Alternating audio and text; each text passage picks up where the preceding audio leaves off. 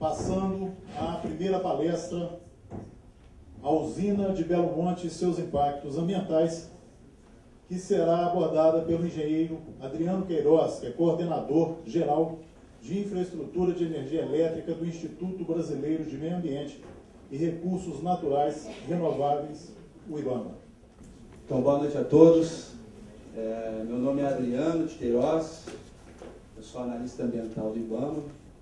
Então, é o seguinte, eu vou fazer uma apresentação para vocês sobre o processo de licenciamento ambiental de Belo Monte, que foi feito ali no IBAMA. Né? Vocês devem ter visto aí muita coisa pela mídia, é um projeto muito antigo, projeto que remonta à década de 1970. Tiveram algumas tentativas de licenciamento nos órgãos, no órgão estadual do Pará, licenciamento do Pará, e posteriormente veio para o licenciamento federal por uma decisão judicial e a história de licenciamento ambiental do projeto de Belo Monte no IBAMA é mais recente, de 2006 para cá. O projeto de Belo Monte ele iniciou em 2006 lá no IBAMA, com a solicitada abertura de processo, já vinha com histórico de licenciamento na SEMA do Pará, e aí com uma decisão judicial veio para o IBAMA. Bom, é, na fase de elaboração do termo de referência, o termo de referência é o documento que auxilia o empreendedor, o interessado, o proponente do projeto, a, a orientar que estudos, né? Quais são os tópicos, os temas, como ele deve abordar aqueles temas, em que profundidade, quais são os principais temas que ele tem que abordar e deve fazer parte do estudo de impacto ambiental.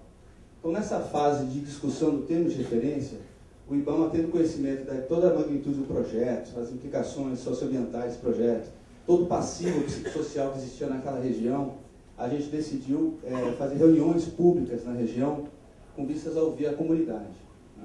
Então, tinha aqueles projetos antigos da década de 70 que eu não vou abordar aqui. Vou falar só mais do processo de licenciamento atual. Mas é importante é, que os senhores tenham conhecimento que esse projeto de Belo Monte ele data da época da, da ditadura militar. Né? Então, na bacia hidrográfica do Rio Xingu, nós tínhamos previsto, acho que cinco ou seis aproveitamentos hidrelétricos naquela bacia. Esses aproveitamentos eles iam inundar uma área em torno de 20 mil quilômetros quadrados. Né? Inundavam diversas terras indígenas, é, é, por questões diversas, questões financeiras e o final da, da, ditadura, eles acabaram não indo à frente. Licenciamento ambiental, né?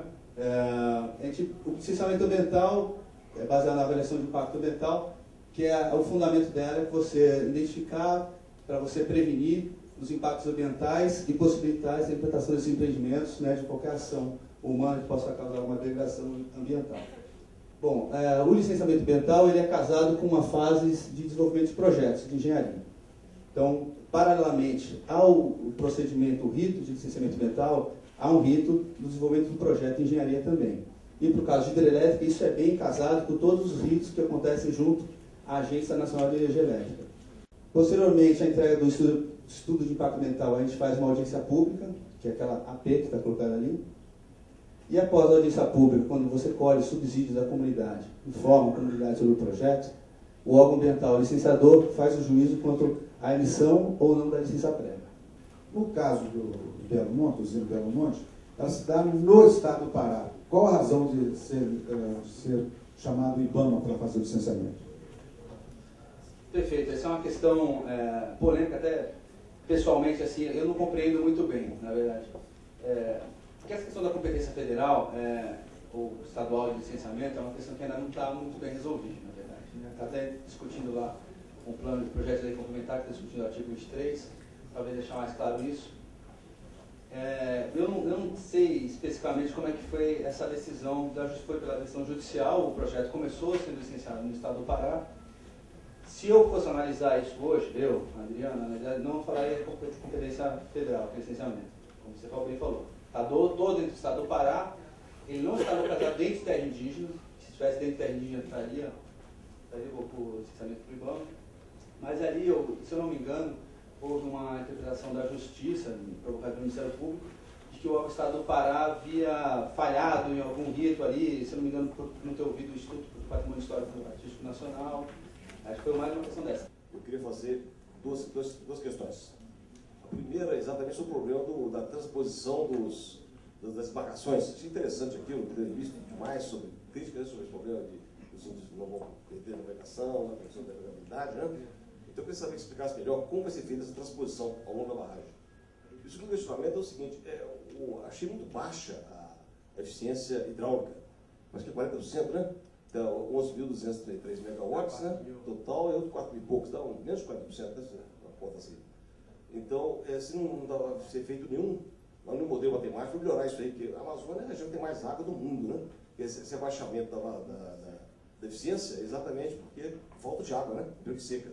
Não tem nenhuma maneira de suprir essa falta de água, de maneira a preservar, pelo menos um 60%, 30%, como é Itaipu, parece que é 70%, né? nós temos aí São Antônio 75%. Então, pelo, pelo Bosch, 40%, eu acho um valor muito baixo. A primeira qual era mesmo? A primeira é... Primeiro, sobre é, como vai ser a transposição das embarcações. Ah, não, perfeito. Aí essa questão, a primeira, é, ainda está, esse projeto está em discussão ainda, né? Como vai ser o projeto. Tem dois projetos, na verdade são três projetos que vão ser desenvolvidos lá. Tem dois projetos que vão ser implantados durante a fase de obra, porque mesmo durante a obra, vai haver um momento que a barragem está em construção, ela estrangula o rio. No momento que ela estrangula o rio, quando vem a cheia, esse rio vai se transformar, a, a travessia desse trecho estrangulado vai, pode ficar uma navegação perigosa. Então vai ter que ser adotado um mecanismo de transposição que vai ser chamado provisório. Né? Não é provisório porque ele é, é, é ruim ou uma coisa precária, não. É porque é provisório porque é durante o período de obra.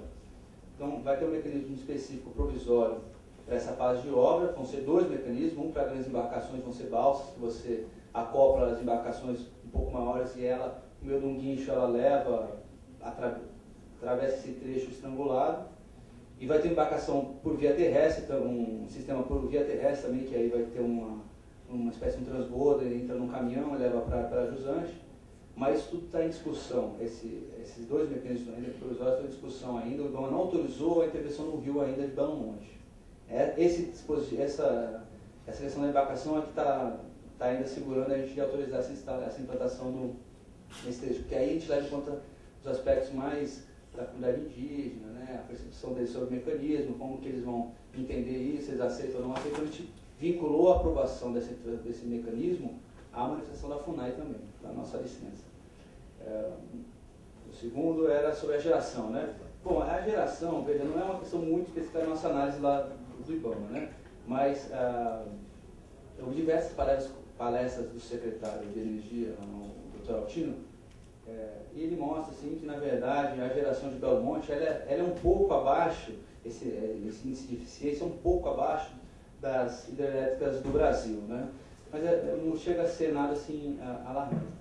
É, mas assim, por outro lado, você vê que assim, um leilão, né, que é o que demonstra assim, a viabilidade econômica do projeto, demonstrou que ela é extremamente competitiva. Né? O valor da energia que foi vendido de Belo Monte, apesar de ter diversos investimentos que vão ser feitos para a questão ambiental, que todo mundo via como uma questão que poderia viabilizar o projeto, mostrou ele bastante competitivo, com um nível é, de, de outras, inclusive todas as hidrelétricas aí na bacia do Rio Parnaíba, que estão com valores bastante acima de Belo Monte, o preço do megawatt hora. Né? Então, eu acho que essas coisas não, não há é, nenhuma inviabilidade nesse aspecto não da, da geração. Para viabilizar mais energia, colocar mais barragem ali no Rio Xingu, ninguém quer.